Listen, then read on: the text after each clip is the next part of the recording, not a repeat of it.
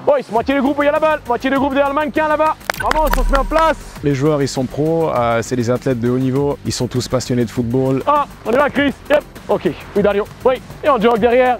Il n'y a pas vraiment besoin de les, de les, motiver, de les booster pour qu'ils soient prêts pour le, le reste de l'entraînement. Même chose, on choisit un côté et on vient. C'est parti, les gars. On y va. Viens, Chris. Oui. Et on s'en va. euh, c'est clair que c'est beaucoup de joueurs. C'est le début, donc le but c'est de les mettre dans la séance, de les préparer au mieux possible à ce qu'on a préparé après avec l'ensemble du staff.